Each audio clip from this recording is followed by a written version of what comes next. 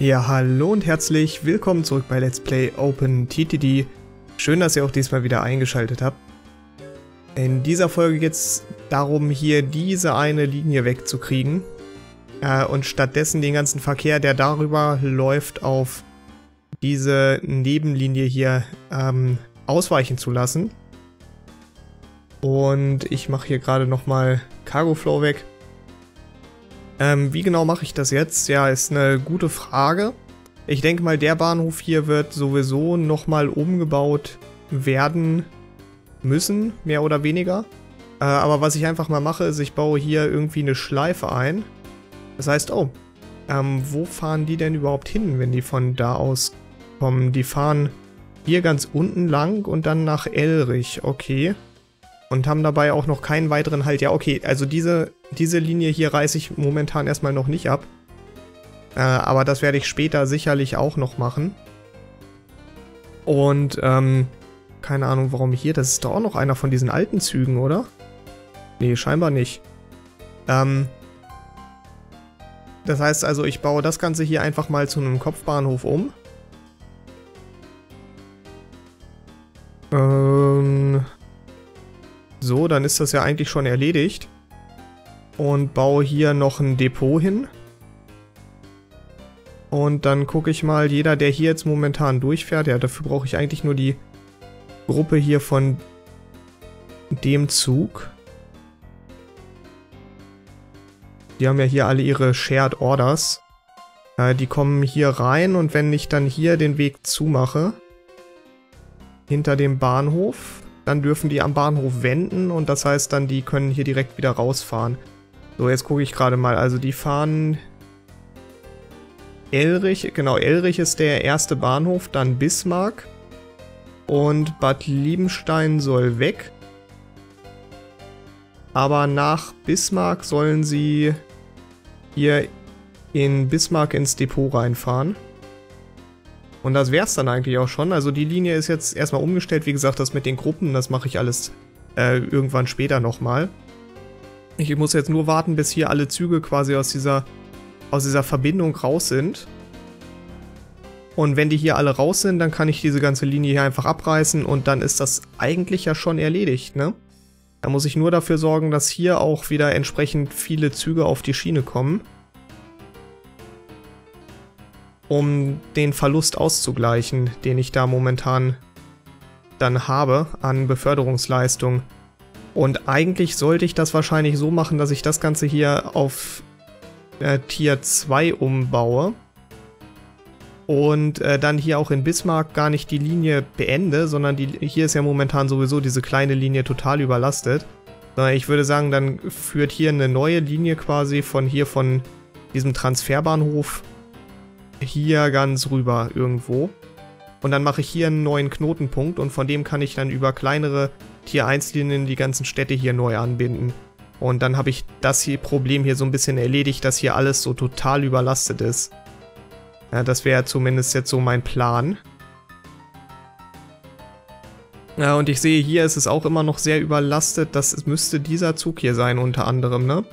Der will jetzt nach Rheinbach Zugdepot. Genau, das ist dieser Zug hier. Dann kann ich den sicherlich noch ein- oder zweimal klonen. Kann die hier alle wieder losschicken.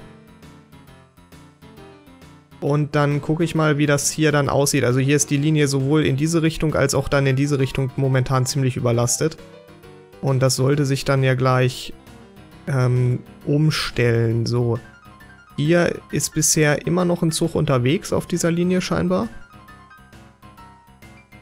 Ja, dieser hier könnte das sein. Aber ich glaube, das Ganze in Rechtsrichtung kann ich schon mal abreißen. Das sollte, das sollte schon mal möglich sein.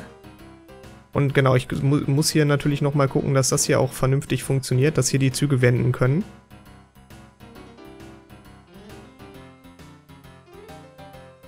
Ja, das sieht eigentlich ganz gut aus. Oh nee, tatsächlich, das passt nicht. Ich weiß nicht genau, warum das hier nicht passt, aber dann muss ich das hier ein bisschen weiter, ein bisschen weiter rechts bauen. Also wahrscheinlich, ah ja, weil das ein, äh, das war ein, äh, ein äh, Einbahn, Einbahnsignal. So, hier ist inzwischen auch die Linie im Cargo Flow wieder verschwunden. Das ist ja genau das, was ich eigentlich haben wollte. Ich stelle gerade mal hier die Transparenz an. Kann ich das hier auch vernünftig abreißen?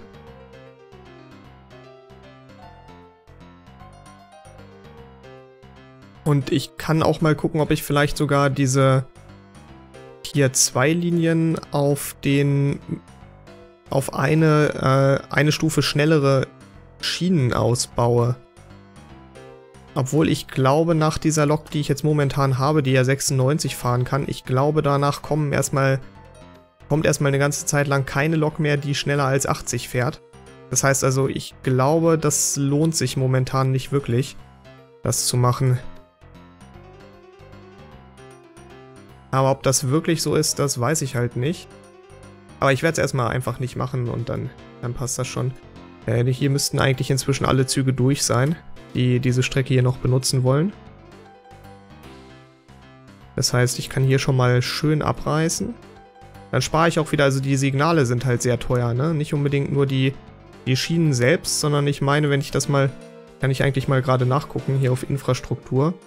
Äh, ich zahle für die Signale halb so viel wie für die Schienen, also für die Wartungskosten. Das ist schon eine ganze Menge eigentlich. Naja gut, äh, zu dem Zeitpunkt, wo ich dann irgendwann auch schnellere Schienen noch baue, da wird das sich dann sicherlich nochmal äh, erledigen. So, komm, du wirst so jetzt... Und kann ich nicht mit Tab halten? Ah, ja, genau, das war auch noch was. Mit Tab halten kann ich die... Also während ich Tab halte, kann ich die, äh, die, die Zeit beschleunigen im Spiel. Wenn ich Tab dann wieder loslasse, dann läuft die Zeit genauso langsam weiter wie vorher. Finde ich ganz cool eigentlich. So, also diese Linie hier bleibt jetzt erstmal bestehen. Und hier sind jetzt alle Züge, die vorher da ganz oben im Norden gefahren sind, aber das scheinen ja nur zwei, nee, drei Züge zu sein. Äh, die verteilen sich jetzt hier, das heißt also die Linie wird vermutlich relativ wenig ausgelastet sein jetzt erstmal. Aber hier ist jetzt natürlich, hier geht jetzt richtig die Post ab. Äh, das Problem ist halt, dass hier dann etwas weiter unten hier ist es überhaupt nicht so richtig ausgelastet, wie ich das eigentlich gerne hätte. Äh, das heißt, hier einfach mehr Züge drauf zu tun auf die Strecke. Ja gut, das werde ich jetzt machen müssen, aber es ist eigentlich nicht so ganz, nicht so ganz äh, Sinn der Sache. Denn wo wollen die denn hin? Ja, scheinbar ist das vernünftig, was die da machen. Ich muss nur gerade jetzt mal gucken, dass ich hier auf die Strecke, also wie gesagt, ähm, ganz der Weisheit letzter Schluss ist das sicherlich noch nicht. Aber ich werde das erstmal machen. Bad Köstritz Eschborn irgendwie? Ne, das ist die Linie, die hier links rumfährt. Das war nicht die richtige Gruppe, die ich da gerade hatte. Ich will die T2 WIL nach Eschborn. Okay, das heißt also WIL muss ich hin. Und da muss ich die neuen Züge dann einsetzen. Und ich werde einfach erstmal drei Züge hier noch zusätzlich einsetzen. Und dann werde ich mal gucken, wie sich die ganze Situation hier entwickelt. Momentan ist ja auch nur wirklich dieser eine Streckenabschnitt hier überlastet und selbst der ist ja nur, ist ja nur gelb und nicht irgendwie noch schlimmer. Und hier oben die ganzen Züge machen natürlich auch tierischen Verlust. Ähm, und ich meine, das liegt auch unter anderem daran, dass die hier zu wenig, äh, zu wenig Bahnen haben. Äh, denn die Züge machen mit dem, was sie an die Städte ausliefern, machen sie Verlust und mit dem, was sie von den Städten abholen und in mein, in mein System oder in mein Netzwerk insgesamt einspeisen, machen sie normalerweise Gewinn. Ähm, das heißt also, ich muss dafür sorgen, wenn ich nicht mehr möchte, dass die hier, dass die hier Verlust machen, dann muss ich dafür sorgen, dass, äh, dass die Züge mehr einspeisen ins Netzwerk. Im Verhältnis zu dem, ähm, was sie abliefern. Wenn das irgendwie Sinn macht. Deswegen werde ich hier gleich mal noch ein paar, also in beiden Städten doch mal ein paar von den Pferdekarren einsetzen. Und dann sollte sich das hoffentlich ein bisschen so ergeben, dass die Züge hier nicht mehr ganz so viel Verlust machen. 2, 3, 4. 1, 2, 3, 4. So, alle losschicken. Und jetzt sollte das am Ende dann nicht mehr ganz so schlimm sein und diese Linien hier sollten auch ein bisschen besser ausgelastet sein. Das ist jetzt so meine Hoffnung. Und hier für diese gelbe Strecke, da muss ich jetzt sowieso erst noch warten, bis sich das vernünftig verteilt hat, was ich jetzt an Zügen hier da zusätzlich auf die, auf die Strecke draufgeschickt habe. Ähm, was momentan überhaupt nicht schön ist, ist, dass, dass hier so wenig ausgelastet ist. Aber da kann ich leider auch nicht so unglaublich viel dran machen momentan.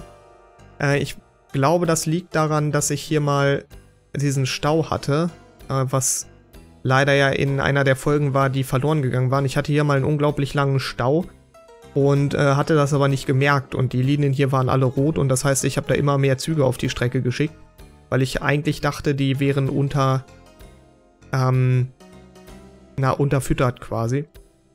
Also da wären zu wenig Züge, eigentlich lag aber diese Überlastung der Linien nur daran, dass, ähm, na, dass ich hier so einen riesen Stau hatte, also war ein bisschen blöd. So, also ich würde sagen, hier in Bismarck, da kommt dann ein T2-Knotenpunkt hin. Und äh, den würde ich dann... Ja, das ist eigentlich viel zu wenig Abstand ne, zu, dem, zu dem letzten T2-Knotenpunkt. Äh, schön ist das also auch wieder nicht. Schön ist es meistens nicht, wenn ich mir das hier alles mal so angucke. Ich könnte hier einen hinsetzen und dann könnte ich halt diese Linie hier auflösen. Dann könnte ich halt sagen, okay, ähm, hier in Bismarck kommt ein normaler Bahnhof hin und hier kommt noch ein Bahnhof hin und dann habe ich hier relativ gute Anbindung von diesen ganzen Städten, die hier relativ nah dran sind. Und äh, hier von Königssee nach äh, Dieburg kann man dann eben nicht mehr über, die, über den Nahverkehr fahren, sondern da muss man halt dann zurückfahren nach Bismarck. Ist vielleicht nicht so ganz toll auch wieder. Aber ist eben letztendlich das, was ich machen muss, wenn ich das Ganze hier ja, so ein bisschen interessanter gestalten möchte. So, als nächstes sollte ich eigentlich mal gucken, dass ich hier äh, von also von dieser, von diesem Transferbahnhof hier äh, hier vernünftig rüberkomme nach äh, Bismarck über eben die eigentliche Stadt Wunsdorf. Ich sehe gerade, also hier, das muss ich noch tatsächlich einpendeln. Das ist in dieser Richtung momentan noch äh, tatsächlich orange. Aber bisher sind die Züge, die ich jetzt neu eingesetzt habe, natürlich auch noch nicht ein einziges Mal die ganze Strecke abgefahren. Also ich denke mal, das wird noch. Hier dieses ganze minder ausgelastete, das ist halt, ja, das ist nicht so, nicht so schön. Ähm, vielleicht sollte ich auch lieber mich erstmal hierum kümmern und sollte dann sagen, okay, dann habe ich zumindest diese Hälfte sozusagen der Karte habe ich schon dann einmal abgearbeitet. Äh, und dann kann ich mich um alles kümmern, was hier jetzt in, in dieser Richtung ist. Das wäre vielleicht auch gar nicht, gar nicht so schlecht. Also ich werde vermutlich diese Linie hier auch auflösen. Und äh, werde stattdessen hier an den Transferbahnhof von Wunsdorf werde ich ähm, werde ich hier die Züge anschließen. Dann wird das hier so ein Sternennetzwerk oder so eine Art Sternennetzwerk. Und dann werde ich sagen, okay, äh, hier baue ich dann einen Durchfahrtsbahnhof einfach nur für diese Tier 2 Linie hin und da wird dann äh, Stadtroda direkt angeschlossen zum Beispiel. Und dann fällt auch dieses hier weg und dann fällt auch wieder die Wartungskosten fallen dann weg, die ich in diese Richtung momentan habe. Ich glaube, das wäre auch gar keine so schlechte Idee. Und dieses hier, das muss ich irgendwie noch ein bisschen überarbeiten. Das ist momentan noch nicht so besonders schön. So, also hier ist jetzt tatsächlich Stau. Also ich glaube, dass dieser Bahnhof hier überlastet ist. Das kommt doch eher, als ich das eigentlich angenommen hatte. Hier von dieser Richtung wartet auch gerade einer auf seine Einfahrt. Oh, oh, das sieht nicht gut aus. Nicht, dass ich das noch in der nächsten Folge dann irgendwie den Bahnhof hier direkt neu bauen muss. Aber es könnte tatsächlich dazu kommen, ne? denn ich müsste eigentlich hier auf, auf dieser Linie hier, müsste ich eigentlich auch wieder ein paar mehr Züge einsetzen. Und dann wird die Auslastungssituation hier in diesem Bahnhof nicht gerade besser. Muss ich mal gucken. Es könnte eben auch daran liegen, dass jetzt gerade diese drei Züge, die ich neu eingesetzt habe auf der T2-Linie hier, dass die jetzt gerade hier den Bahnhof ein bisschen verstopft haben. Und äh, durch das automatische Spacing werden die sich ja noch ein bisschen besser verteilen. Also ich gebe mal die Hoffnung nicht auf, dass ich den Bahnhof hier noch nicht wieder direkt umbauen muss.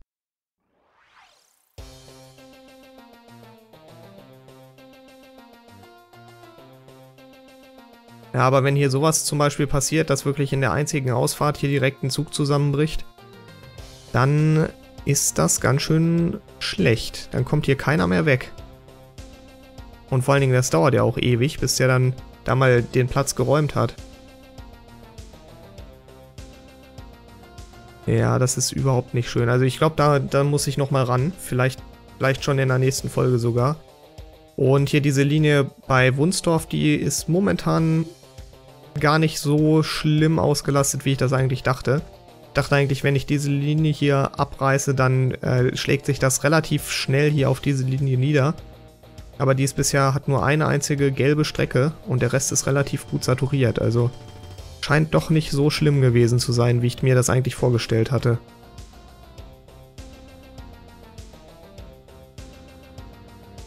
So, wie geht das hier jetzt weiter, ist die große Frage. Oder worum kümmere ich mich als nächstes? Also es sind ja wirklich diverse Baustellen. Ich glaube, ich mache das tatsächlich, kümmere mich als nächstes tatsächlich hier rum. Ähm, aber letzte Folge war ziemlich lang, das heißt also diese Folge mache ich mal ein bisschen kürzer, äh, damit ich so auf einen Durchschnitt von 30 Minuten pro Folge komme. Äh, das heißt also, ich überlege mir jetzt zwischen den Folgen, wie ich das hier genau aufziehen möchte und äh, in der nächsten Folge baue ich das dann auch tatsächlich um. Äh, vielleicht sehen wir uns also auch dann beim nächsten Mal wieder und bis bald.